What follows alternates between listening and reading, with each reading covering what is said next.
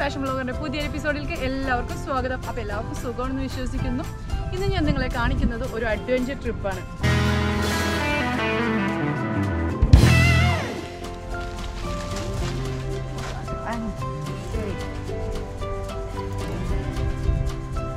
പരിശീലനം ക്യാമറ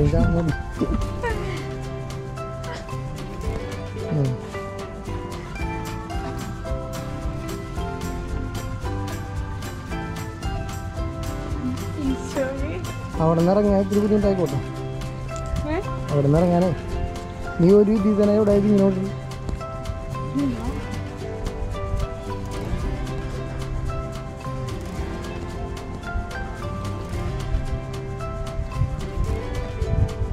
ഇനി എനിക്ക് നീന്തൽ അറിയില്ലട്ടാ അറിഞ്ഞത്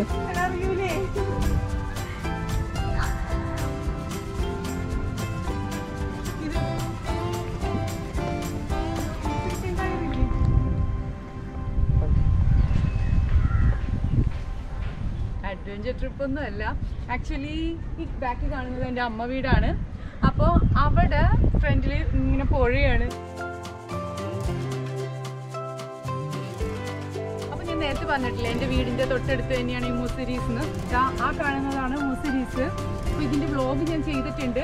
ഇതിന്റെ ലിങ്ക് ഫോണിൽ ഇനിയും കാണാത്തവർക്ക് ഡിസ്ക്രിപ്ഷനിലും അതിന്റെ ഡീറ്റെയിൽസ് ഞാൻ കൊടുക്കുന്നുണ്ട്. നിങ്ങളെ കാണിക്കുന്നത്. ഈ കോട്ടപ്പുറം കായലിൽ എന്റെ കുറേ ഫ്രണ്ട്സ് ചെയ്തേക്കുന്ന ഒരു ചെറിയ പ്രൊജക്റ്റാണ് അപ്പോൾ ഗുഡ് വിൽ എസ് എച്ച് ജിയുടെ ഭാഗമായിട്ട് അവരൊരു കൾട്ടിവേഷൻ തുടങ്ങിയൊക്കെയാണ്. കാണാൻ നല്ല രസമാണ്. അപ്പോൾ അതിലേക്കുള്ള യാത്രയും അവിടുത്തെ എന്തൊക്കെയാണ് അവർ കൾട്ടിവേറ്റ് ചെയ്യുന്നതും അതിന്റെ കാര്യങ്ങളിലേക്കാണ്. അപ്പോൾ നമുക്ക് പോകാം. അപ്പോൾ നമ്മൾ ഭയങ്കര പിടിച്ചതാണ് ഞങ്ങൾക്ക് രണ്ടുപേർക്കും നീന്തൽ അറിയില്ല അന്നേരം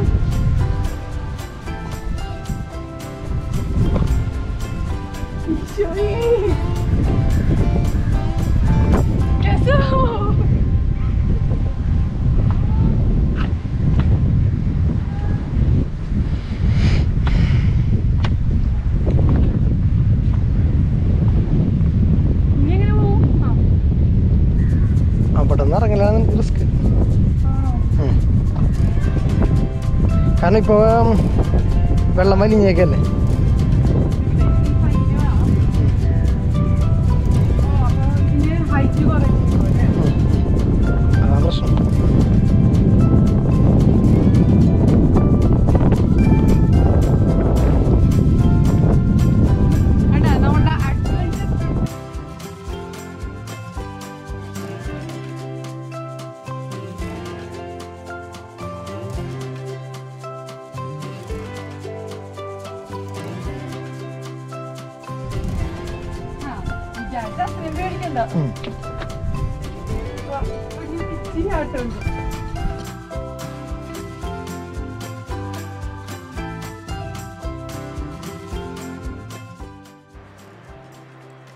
ഇതാണ് കൂട് മത്സ്യകൃഷി.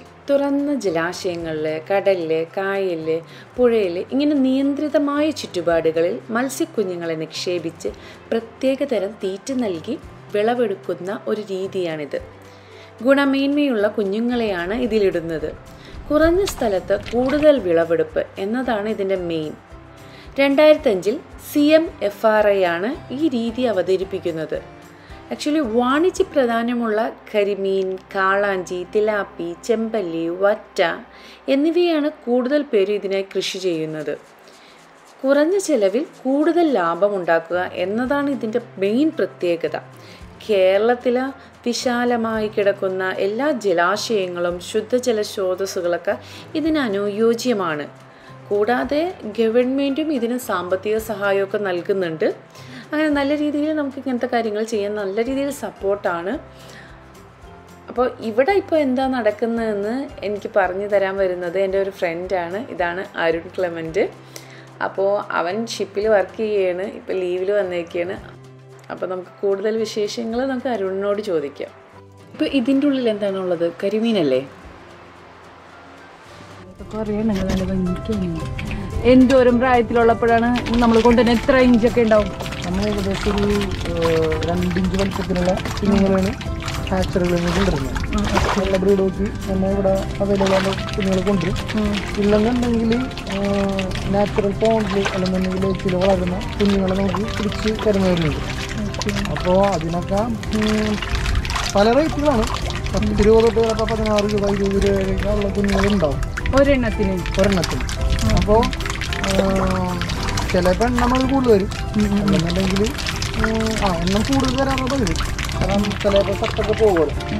അത് നമ്മൾ ഏരിയത്തിനകത്ത് എടുക്കുന്നുണ്ട് കരിമീന്റെ ഇത് നമ്മൾ ഏരിയത്തിനാണ് എടുക്കുന്നത് പക്ഷേ കാളാഞ്ചി അങ്ങനെയല്ല. കാളാഞ്ചി നമുക്ക് ഞങ്ങൾ കഴിഞ്ഞ പ്രാവശ്യം എടുത്തത് ആന്ധ്രാപ്രദേശിൽ കൊണ്ടുവരാൻ ശരി അപ്പോൾ അതിന് റേറ്റ് വ്യത്യാസമുണ്ട്. കാളാഞ്ചിറ കുഞ്ഞുങ്ങൾക്ക് ഒരു മുപ്പത്താറ് രൂപ മുതൽ മേലോട്ടാണ്. ഞാൻ കഴിഞ്ഞ പ്രാവശ്യം എടുത്തപ്പോൾ ഏകദേശം നാൽപ്പത്തഞ്ച് രൂപ അടുത്ത് വന്നു. അതൊരു പത്തിഞ്ച് വരെയുള്ള കുഞ്ഞുങ്ങളാണ് നമ്മൾ കൊണ്ടുവന്നത്.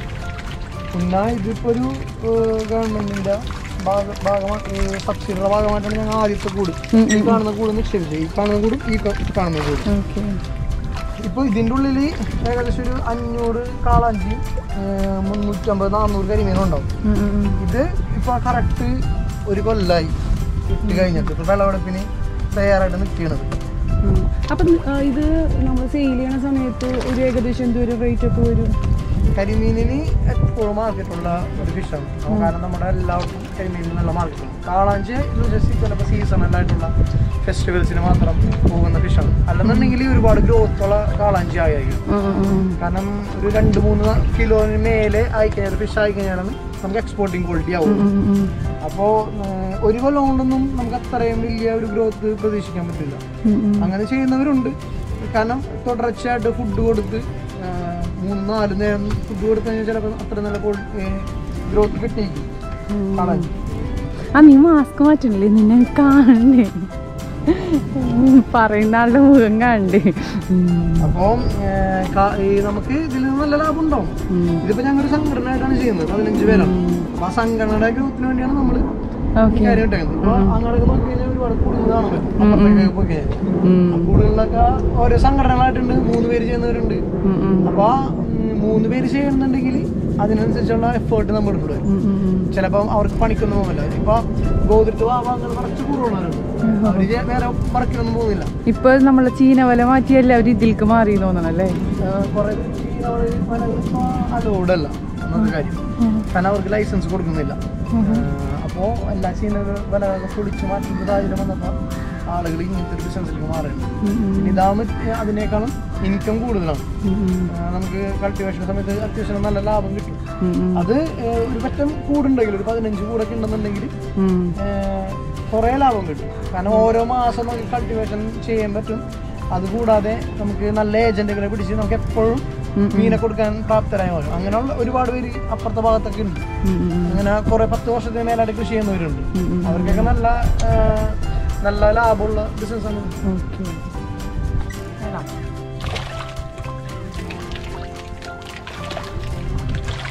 ഇത് ഫുള്ള് കരിമീനാണോ? എല്ലായിടത്തും? അല്ലല്ല ഇതിന്റെ ഉള്ളിൽ മൊത്തം കരിമീനല്ലേ എന്ത് ഫുഡാണ് നിങ്ങൾ കൊടുക്കുന്നത്?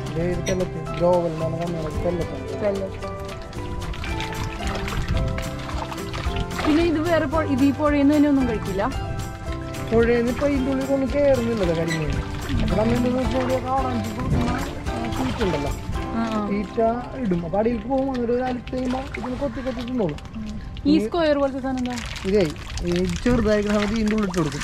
അപ്പൊ വെച്ചാൽ കുഞ്ഞുങ്ങളുണ്ട്? അല്ല കുഞ്ഞുങ്ങളല്ല. ഇത് അടിച്ച് തെറിപ്പിച്ച് കളയും. തെറിപ്പിച്ച് കളയുമ്പോൾ തീറ്റ മൊത്തം വെളിയിലേക്ക് പോകും. അപ്പോൾ അതിന് വേണ്ടി നെറ്റ് കെട്ടിട്ടിരിക്കണം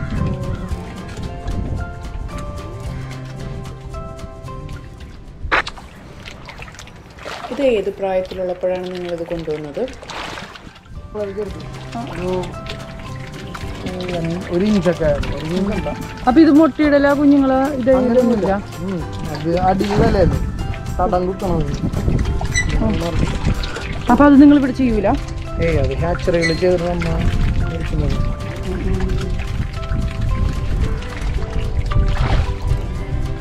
ഇനി ഇതിൽ? കാളാഞ്ചാണ് കരിമീനുണ്ട് അതിന്റെ ഉള്ളിൽ ഇതെന്തോ എന്നിട്ട് നിങ്ങൾ കൊടുക്കുന്ന ഈ കരിമീൻ?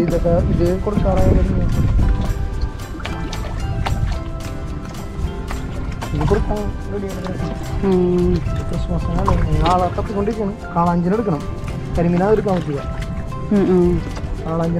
കാളാഞ്ചിനെ പെട്ടെന്ന് ചത്തു പോകുന്ന സാധനം. കരിമീനെ മാത്രമേ കാണുന്നുള്ളൂ ഇതിലും കാളാഞ്ചാട്ടിയിൽ നിൽക്കുന്ന ഫിഷാണ് ആണോ? ഏഷ്യൻ സീവേഴ്സ് എന്ന്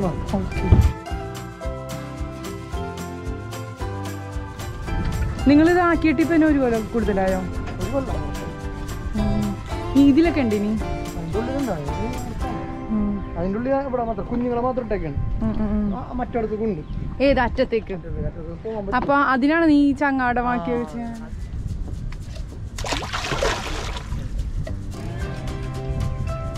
അപ്പൊ ഇതിന്റെ അടിയിലും വലയില്ലേ? അല്ലാതെ കോർണറിൽ മാത്രമല്ല താഴെ വല വലയുടെ ഉള്ളിലല്ലേ ഇവർ